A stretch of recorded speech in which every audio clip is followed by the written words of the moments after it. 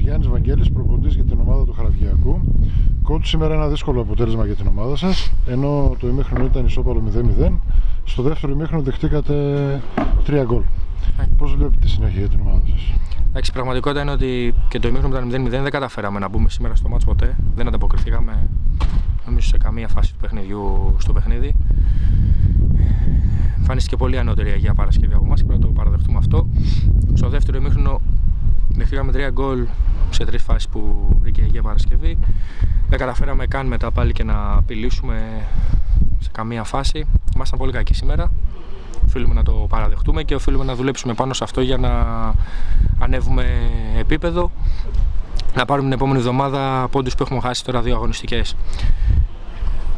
Η συνέχεια ξέρουμε ότι θέλουμε τη σωτηρία της ομάδας όσο πιο νωρίς αν μπορούμε να το πετύχουμε αυτό και γι' αυτό οφείλουμε να επιστρέψουμε σε θετικά αποτελέσματα από την επόμενη εβδομάδα.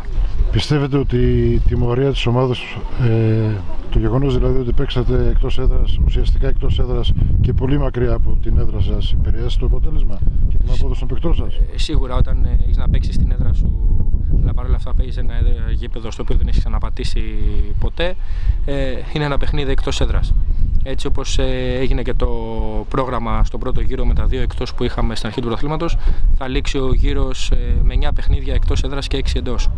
Σίγουρα αυτό μας έχει δυσκολέψει. Ευχαριστούμε πολύ coach, καλή συνέχεια. Να είστε καλά επίσης.